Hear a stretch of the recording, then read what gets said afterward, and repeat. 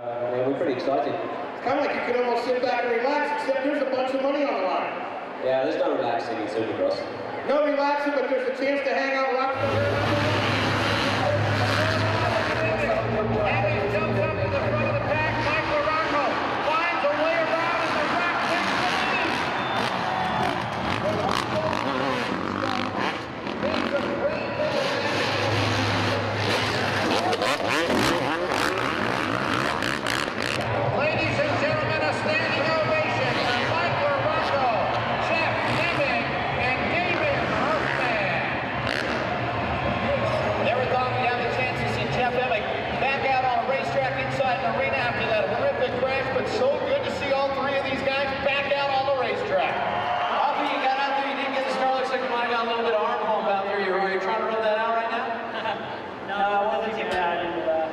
think Mike was sandbagging and practice. He didn't look that good, but kind of put some confidence out there today. How, how fun was it for you?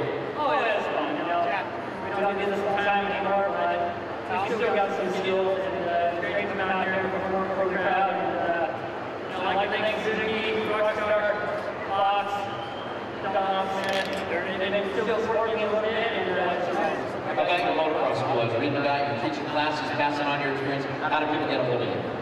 Yeah, basically, uh, they can email me at company.com, get, it- get in touch with me through that, but, uh, my personal lessons are going good, and, uh, working at the Southern California, so, if anybody want a lesson, I can definitely, uh, teach them a little bit. Do a Google search, it's easy to find. Good to see you out here, Alfie. Come on over here. How about it, Jeff Emig, ladies and gentlemen? You all look like you had the whole shot. Uh, maybe you get a little hot into the corner and the rocks slid underneath you. Yeah, we talked about the start there, about, you know, not going too high, um, and Mike just got the eyes there coming out, so.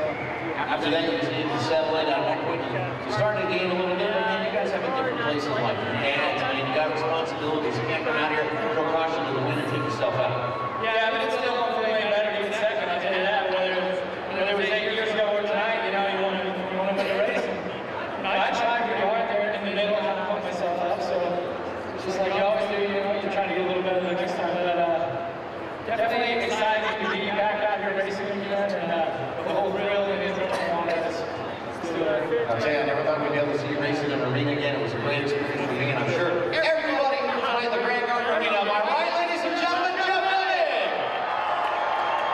Mike LaRocco, a lot of trash talk about diaper changing and all kinds of things in the pre-race uh, chit-chat. You came out old school two-stroke just like it was in 2002 and threw it down. Yeah, that's, I mean, uh, two strokes good, track badass, uh, it's a little, two strokes badass stuff on it.